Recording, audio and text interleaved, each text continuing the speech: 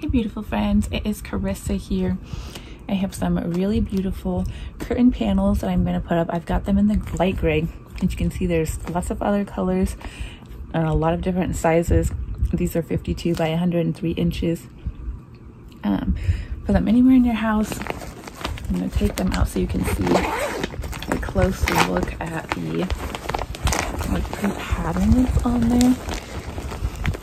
Kind of like a little floral so we're gonna go ahead and take them out, put them up and let you see what they look like on the windows. Super long curtains, beautiful. They go all the way from pretty much the top of the room to the bottom. This is what they look like when it's closed and it's still bright outside.